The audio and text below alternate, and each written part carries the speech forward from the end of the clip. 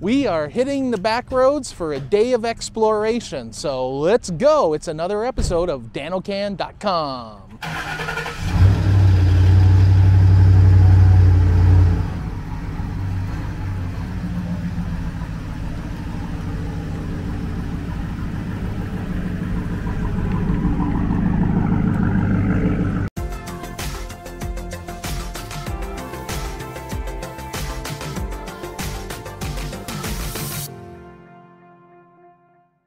We are making our first stop of the day here at uh, Little Chicago, actually known as Royalties, Alberta, which is now the site of a ghost town. Now, there's not really any ghost town remnants left here, but this is the site of where the town was located. We're right alongside Highway 22, aka the Cowboy Trail here in Alberta. And today it's just a field, but uh, at one time this was a bustling oil community. Here on the plaque, you can kind of see a photo of uh, of what it looked like. It was quite the bustling town at the time. Hard to believe there's really nothing of it left. And on top of this cairn slash monument, a little miniature oil derrick. And here's the main sign, Little Chicago Royalties, 1934 to 1969, with a great shot of what Main Street looked like. Classic Prairie Main Street scene. Too bad none of those buildings remain, although I do believe, and don't quote me on this, some of them were moved into the nearby communities of Black Diamond and Turner Valley. So those buildings may still exist at some level, but I'm not sure on that. Now it is an interesting place to stop just because of the history and and the uh, the town that was once here, but I also had a little uh, secondary reason for making the stop. And that is because I had to do some geocache maintenance. I've had a geocache hidden here since 2010, so almost 12 years now. And one of the last finders reported that the cache container was missing, but the logbook was still in place. And indeed, I confirmed the logbook was still tucked away in its hiding spot no sign of the cache container anymore. But uh, spoiler alert, if you look inside the base of the oil derrick and reach way inside, there's a brand new cache container with a new log tucked away inside there. It's not super well hidden, but I figure, you know what? It's lasted 12 years. Let's see if it lasts uh, another 12. And this is a real shame. And I don't know if uh, other locations are seeing this, but I know this has become a very common occurrence in our area. The plaques here have actually been stolen. Uh, there were more plaques here on the cairn. You can see the spots where they were located. Um, apparently, people are stealing these because of their brass content and then selling them for scrap metal. So that's really unfortunate that uh, people are that desperate for money that they are vandalizing historic sites just to get the brass plaques. So you can see from the sign here that the plaques were stolen sometime between July the 7th and July the 12th, 2022. So this is a really recent occurrence. We're talking, you know, in the last uh, two or three weeks as of the time of this uh, recording. And uh, if you do have any information, you are asked to either contact the Museum of the Highwood uh, at 403 652 7156 or the Turner Valley RCMP non emergency line at 403 933 4262. Let's uh, Somebody might know something out there, so that's our public service announcement of the day. If you know anything about the theft of the plaques from Little Chicago, please call.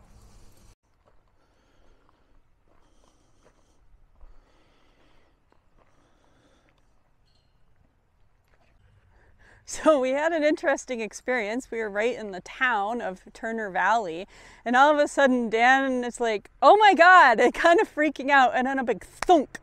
A deer had been running kind of alongside of us and decided to make a sudden movement and try and cross the street, and actually ran into the side of the truck we were all kind of rattled, but uh, the deer darted away, seemed perfectly fine, no damage to the truck, so we dodged a bullet on that one. So I did use the incident recording feature on our dash cam immediately after, I was going to say we hit the deer, but more accurately, the deer hit us, uh, just to see if, uh, if I happened to catch any footage of it. And if not, it'll be worth a laugh just to hear our reactions to the thunk.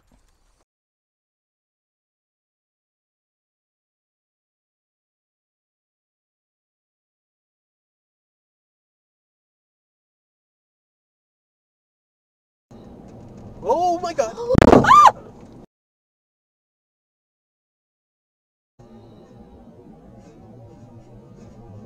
Oh my god!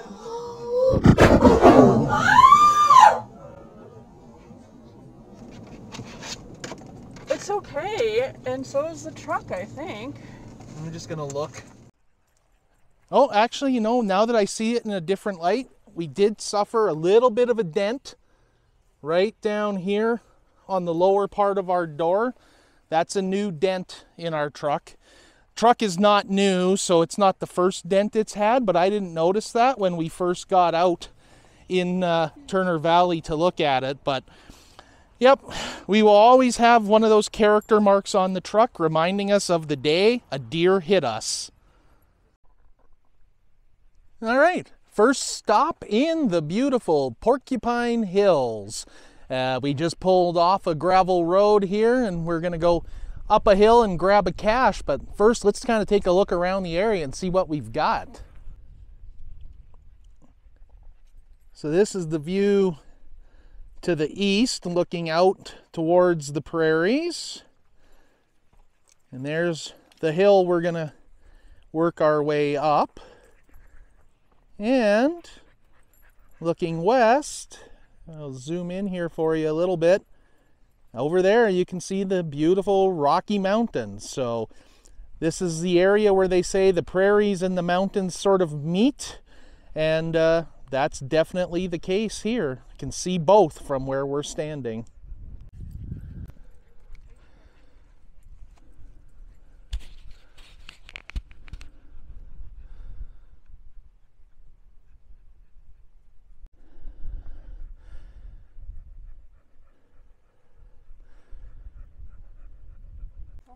we were just debating whether or not our truck could have climbed this hill.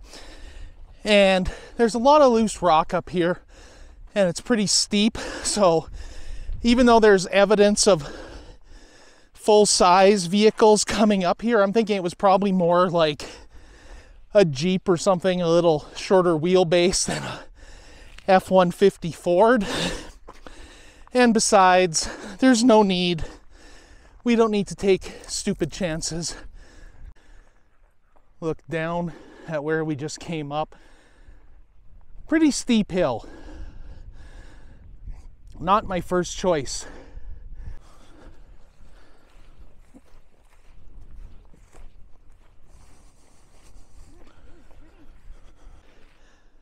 So we came up here for the geocache but there was a truck following behind me, so I didn't pull off at the spot I wanted.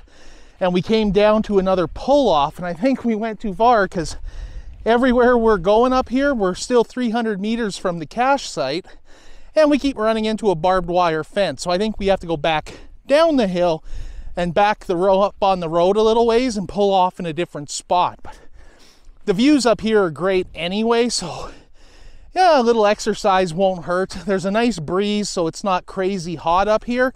And the, the view is quite remarkable. So I don't hate this detour.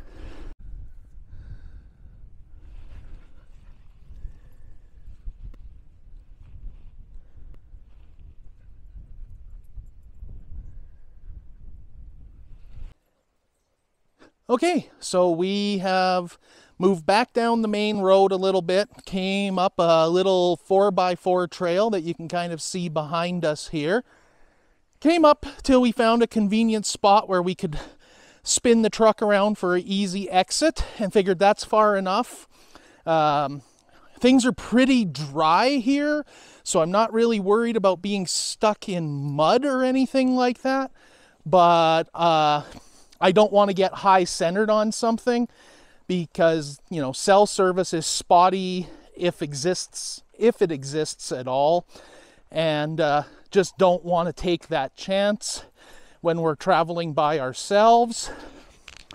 And uh, not knowing how this road or trail uh, what it turns into further up here just not worth the risk. So playing it safe playing it smart.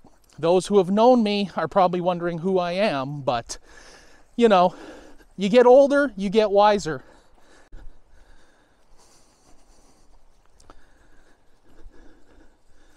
Nothing too sketchy here. But again, why take chances? So there's a look at the road we were on. And the geocache is supposed to be somewhere in these rocks based on uh, what the GPS is telling me right now. Great view from up here. Let's see if we can find the container. There we go. We made the find. A little pop bottle preform just hidden amongst uh, under some rocks here. So tuck it back where we found it. Cover it over with the little rock there. This one was probably like that to kind of hide the white. There it is.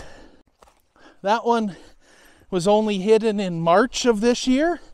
So we're just the second people to find it since it was hidden. So that's kind of cool. Now we're going to walk back to where the truck is and carry on.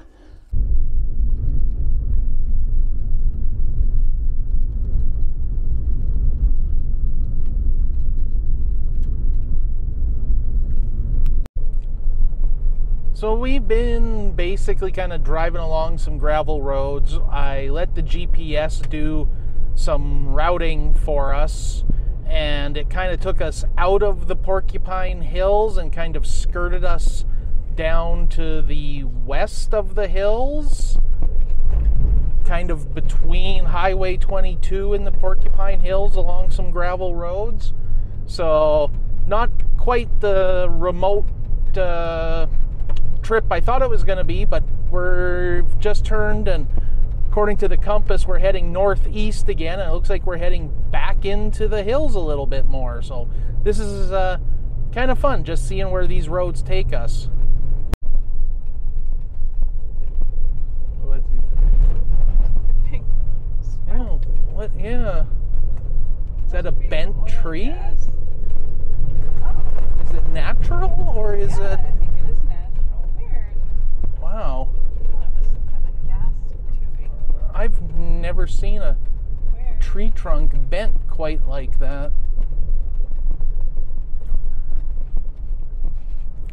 Very strange. Unimproved. It's a road. Okay.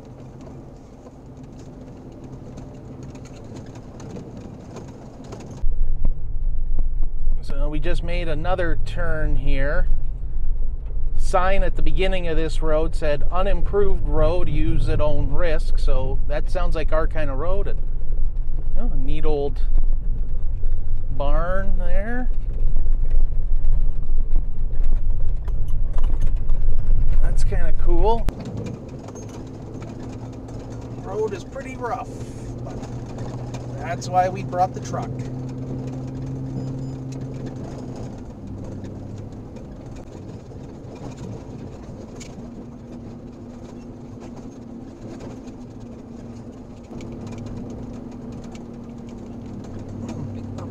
Ooh, neat.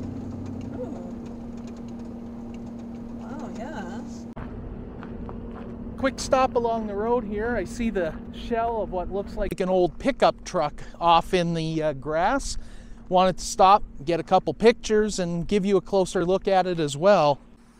This is where I count on the people who watch the channel who know a lot more about vehicles than me to kind of give me an idea as to the make and model that this might be.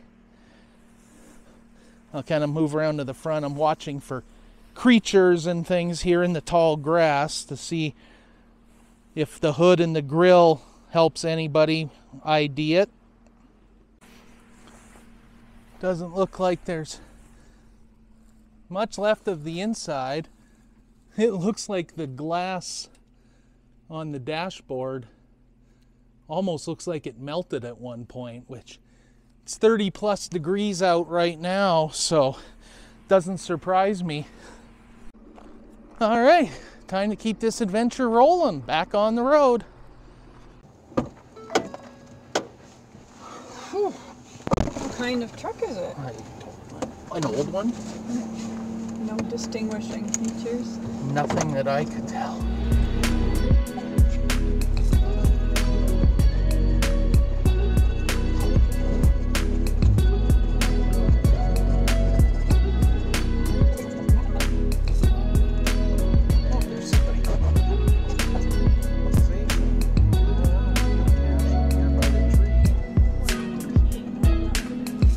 Stopping by to get a cache called Postcards from Alberta, and it's easy to see why it's got that name when you see the spot we're at here.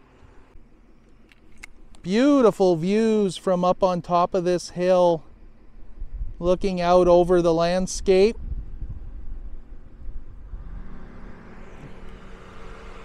Hot enough that the fan of the truck keeps kicking on. Threshing machine sitting there in the yard of this ranch. Pretty cool. Pretty cool. Let's see if we can find the cache over here. I haven't read any description of it, but I imagine it's not going to be too hard to find. In fact, I think that might be it right down in there. Yeah, that was it. Looks like an old peanut butter jar. It was kind of damp inside, but I was able to scratch my name or our names in the log book a little bit, but things were kind of wet and moldy, so you know what that means. Back on the road.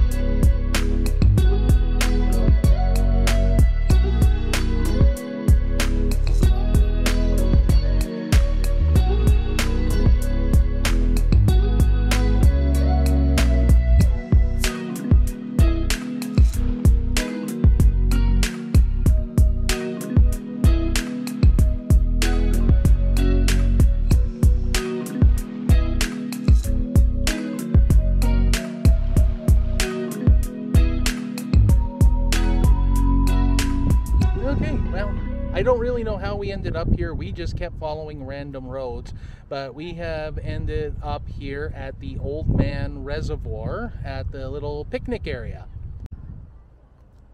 So, wind farm and a little farm village museum thing across the road there.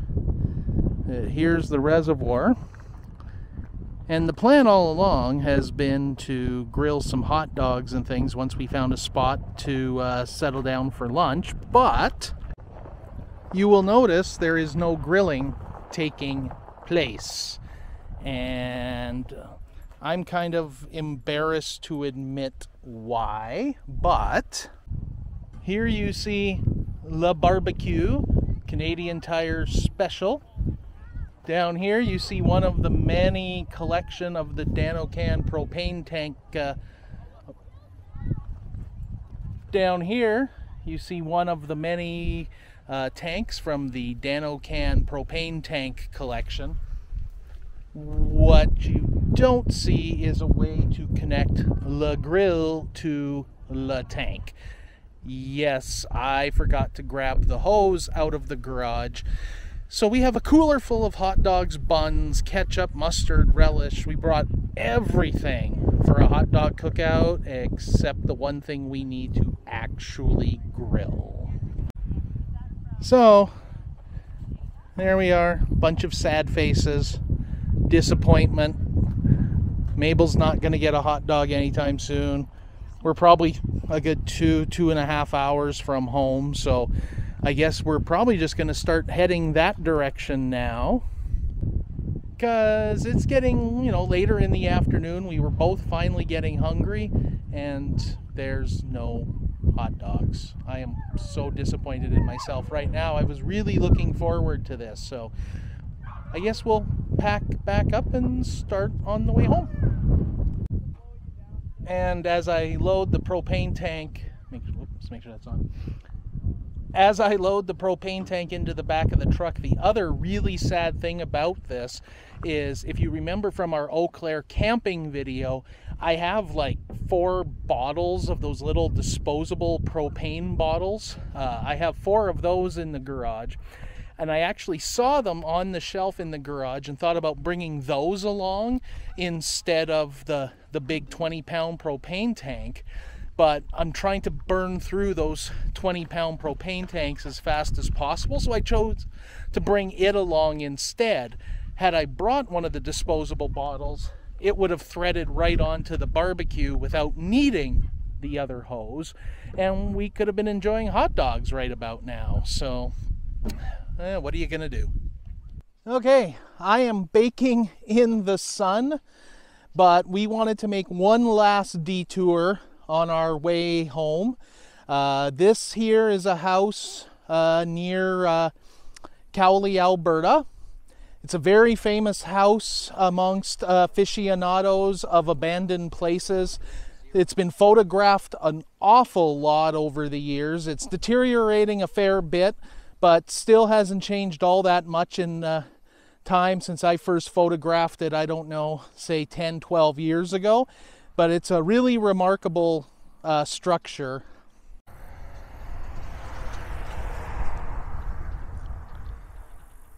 So, if you have ever seen the, I believe it's a Disney movie called The Journey of Natty Gann, um, the final scene, I believe it's the final scene of that movie, takes place right inside this room of this house. It was filmed on location here. Uh, obviously, the house was in much better condition uh, at that point. But uh, yeah, this is where that was filmed. Uh, not the most popular movie or most well known movie, I should say. Uh, not a bad movie. We watched it mainly because of the different locations that were featured in it. And uh, yeah, so if you get a chance to check it out, watch it, you will see this house in that film. I think amongst abandoned places fans, it's more popular just because of how photogenic it is than it is because of its uh, appearance in that movie. I would go on to even, you know, posit that most people who come out and photograph this house haven't even seen the movie or heard of the movie or know that this house is in that movie. So with that, I think we are going to wrap up this video. It uh, is a very hot day right now. It's about 32 degrees Celsius. Uh, I should have my hat on, but I left it in the truck while I just quickly ran out here to photograph this house. Um, we're just going to head straight for home because, you know, we've had some potato chips and uh, Hawkins Cheezies, not sponsored, but it's not a road trip unless you've got Hawkins Cheezies. If you're not from Canada, you may not be aware of Hawkins Cheezies, but if you come to Canada and visit us, you owe it to yourself to try them. You'll never bother with Cheetos or anything like that again. Hawkins hard Cheezies, absolutely the best road trip snack. That being said, let's get back on the road and head for home. I'm going to probably uh, cut the video off here because uh, like I said, we're hungry. We just want to get home and eat the hot dogs that we plan to eat on our picnic on this trip. So, from just outside the town of Cowley, Alberta, this is Dan O'Can saying thank you for watching. If you haven't, I gotta ask, please subscribe. Always appreciate that. And uh, give us a comment in the below if you want, just to let us know you're out there. We always love it. Thanks.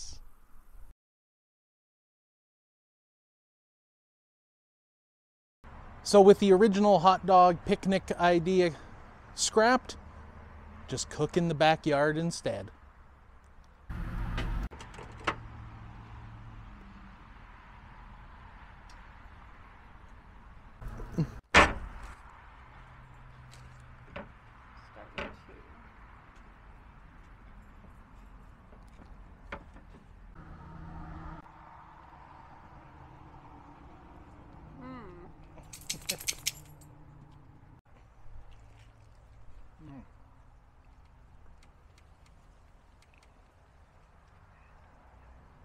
Oh, that was worth the wait.